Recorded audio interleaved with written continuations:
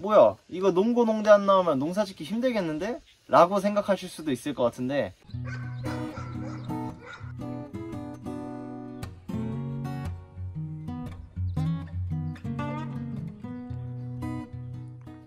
농사왕 재배맨 안녕하세요 농사왕 재입니다 오늘은 제가 가장 많이 받는 질문 중 하나인데 제가 여주자영농업고등학교 한국농수산대학교를 졸업했거든요. 그러다 보니까 이런 질문을 되게 많이 받았어요. 농고농대 나오면 뭐가 좋은가요? 농고농대 안 나와도 농사 지을 수 있나요? 그래서 오늘은 여기에 대한 제 생각을 한번 이야기해 보려고 합니다. 일단 결론부터 말씀드리자면 농고농대를 나오시지 않으셔도 농사를 지으실 수 있습니다.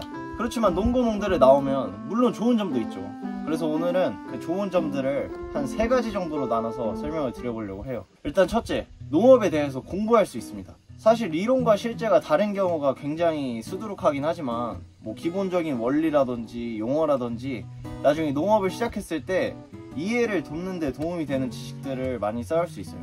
근데 가장 중요한 건 이 첫 번째 장점을 얻기 위해서는 공부를 열심히 해야 됩니다. 저도 학교 다닐 때 성적이 좋지 못한 편은 아니었는데 수업을 잘 안 듣고 항상 벼락치기식으로 시험을 치다 보니까 오히려 다 까먹고 뭐 농사 시작하고 나서 혼자 공부를 더 많이 한 것 같아요.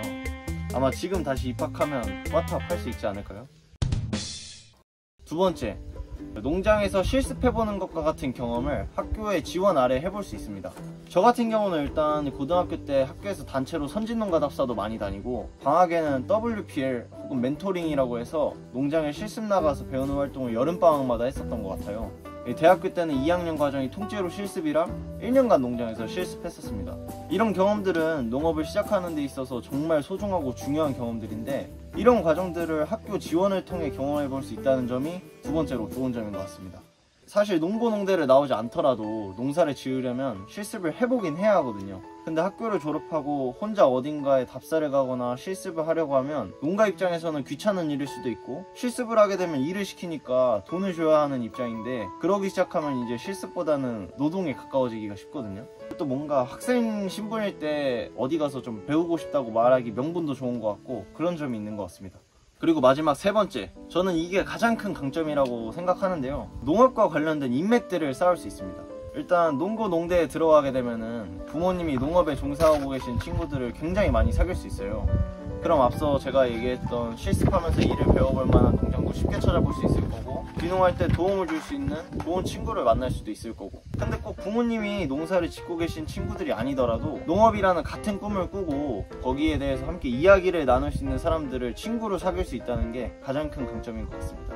일단 이렇게 세 가지로 정리를 해봤고요. 뭐 부수적으로 교육 시간이라든지 그런 점도 뽑아볼 수 있을 것 같은데 사실 그런 건 나중에 온라인 교육이나 지역 농업기술센터, 뭐 농업대학 같은 교육 등을 통해서도 채울 수 있는 부분이라 저는 이렇게 세 가지 정도로 추려봤습니다. 또 너무 좋은 점들을 이야기해서 뭐야 이거 농고 농대 안 나오면 농사 짓기 힘들겠는데? 라고 생각하실 수도 있을 것 같은데 예, 가장 중요한 건 본인이 농업을 하고자 하는 의지이기 때문에 마지막 세 번째로 말씀드렸던 부분 빼고는 전부 본인이 노력만 한다면 극복 가능한 부분이라고 생각합니다. 제가 농고 농대 다닌 시간이 6년인데 사실 6년을 농학도로 지낸 것 치고는 좀 많이 부족한 것 같거든요. 네. 아무튼 오늘 영상은 여기서 마무리하도록 하겠고요. 저 지금 빨강 색깔 토마토 스마트 스토어에서 판매 진행 중이니까 많은 관심 부탁드리고 또 제가 영상으로 다뤄줬으면 하는 내용이 있으면 댓글에 남겨주시면 감사하겠습니다. 그럼 저는 또 조만간 영상으로 찾아뵙겠습니다. 감사합니다. 안녕히 계세요